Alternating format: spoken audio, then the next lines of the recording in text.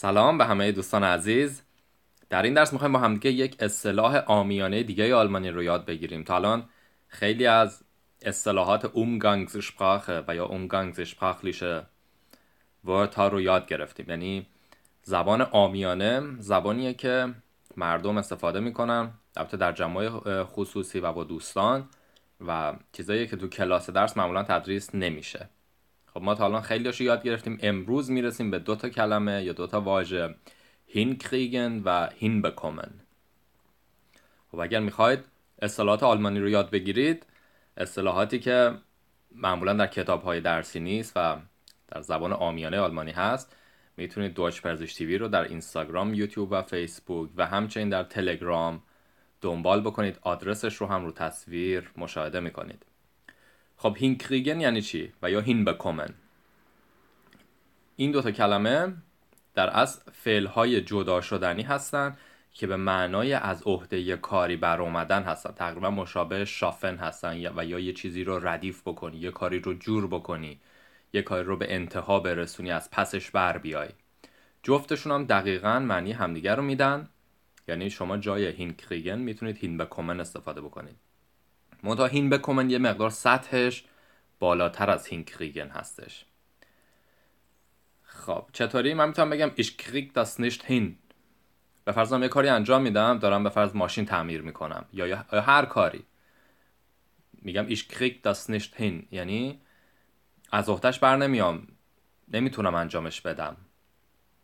به جاش چی می‌تونستم بگم؟ ایش بکومه دست نیشت هین. جفتش عین همدیگه است. تمام جملاتی که تو این درس الان کار می‌کنیم می‌تونین جایگزین بکنید. می‌بینم دوستم می‌خواد یه کاری انجام بده. می‌خوام بگم از اختش برمیای. می‌تونی انجامش بدی. Kriegst du das hin? Kriegst du das hin? یعنی می‌تونی انجامش بدی. تا اینا همطور گفتم Umgangssprache هستش. یعنی زبان آمیانه هستش. Kriegst du das hin? و یا یه کم بهتر بخوام بگم bekommst du das hin یه مقدار سطحش بالاتره. این به معنی نیستش که هین کریگل معنی بدی داره دوستانا. هر زبان خب سطح داره درسته؟ یه مدل اون نیوه صحبت کردن فرق می‌کنه تو هر آدمی با یه کسی دیگه. خب ich krieg das nicht hin kriegst du das hin یا bekommst du das hin خب میگم die Arbeit ist fertig das haben wir gut hingekriegt. این حالت پرفکتشه میگم کار تموم شد کار رو انجام دادیم. ما خیلی خوب از احتش بر اومدیم خیلی خوب این کار رو تموم کردیم. خیلی این کار رو به اتمام رسوندیم. Die Arbeit ist fertig, das haben wir gut hingekriegt. اینجوری میگن معمولا. پس چی شد؟ حالت پرفکتش هابن داره و پارتیسیپ 2 میشه hingekriegt. حالا با hinbekommen می‌گفتیم چی می‌شد؟ Die Arbeit ist fertig das haben wir gut hinbekommen. موقعی که یه کسی یه کاری انجام میده حالا نگران از اختش برمیاد یا نه یا شما می‌خواید بهش امید بدید یا بگید که نگران نباش ما دوباره از پسش برمیایم دوباره انجامش میدیم. این کار رو به سرانجام میرسونیم تمومش می‌کنیم.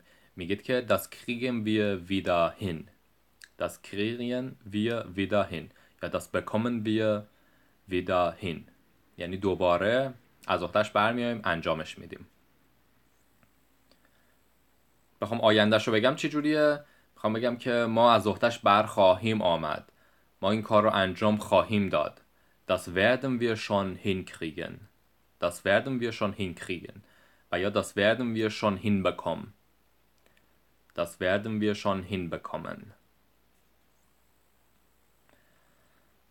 به دوستم میگم Kannst du mir helfen? Ich krieg das nicht hin می‌تونی به من کمک کنی؟ من از احتش بر نمیام. یا کمک بخوام منش اینه. نمی‌تونم تنهایی انجامش بدم. حالا هر کاری می‌تونه باشه. کانسو میامال هلفن ایش کریگه دست نشت هن ایش بکم دست نشت هن ایش بکم دست نشت هن همش یه معنی رو میده.